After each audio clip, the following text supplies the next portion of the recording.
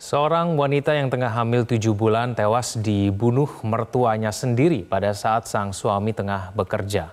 Petugas kepolisian yang tiba di lokasi langsung menangkap pelaku dan masih mendalami motif pembunuhan ini.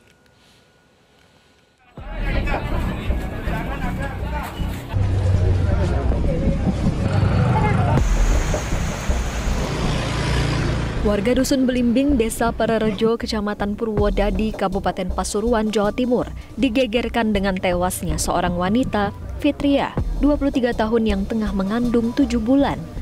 Saat ditemukan korban mengalami luka di bagian leher akibat senjata tajam. Pelaku pembunuhan terhadap wanita hamil ini tak lain adalah mertuanya sendiri, Koiri, 52 tahun yang tinggal satu rumah dengan korban.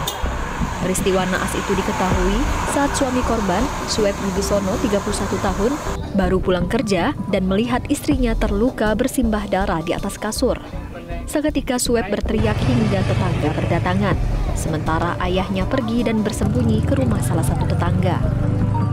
Suami korban atas nama S pulang ke rumah dan menemukan kondisi pintu rumah dalam keadaan terkunci. Lalu yang bersangkutan mengintip dan melihat orang tuanya atas nama uh, K sedang duduk. Lalu uh, pada saat saksi atas nama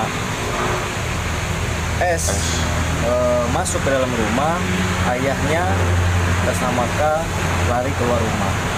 Pada saat masuk ke dalam rumah, saksi atau suami korban melihat istrinya atas nama F yang sedang berada di atas kasur sudah dalam keadaan berlumuran darah. Sueb kemudian meminta warga untuk membawa istrinya ke rumah sakit, namun nyawa korban tidak tertolong. Sementara itu petugas kepolisian kemudian menangkap pelaku dan mengamankan sejumlah barang bukti termasuk pisau dapur yang digunakan untuk membunuh korban. Kini pihak kepolisian masih mendalami motif pembunuhan yang dilakukan mertua terhadap menantunya ini. Dari Pasuruan, Jawa Timur, Hairul Anam, Metro TV.